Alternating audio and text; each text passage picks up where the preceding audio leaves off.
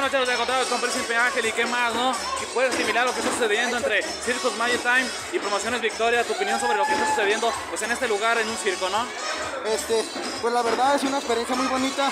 Nunca había luchado en un circo. Es un tipo de público diferente, aficionado igual, pero es muy bonito, me recibió muy bien el público.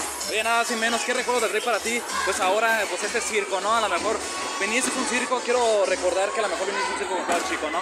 Sí, en mi infancia me gustaban muchos. Bien recuerdo que fui a varios. He ido hasta circos del terror y son muy buenos.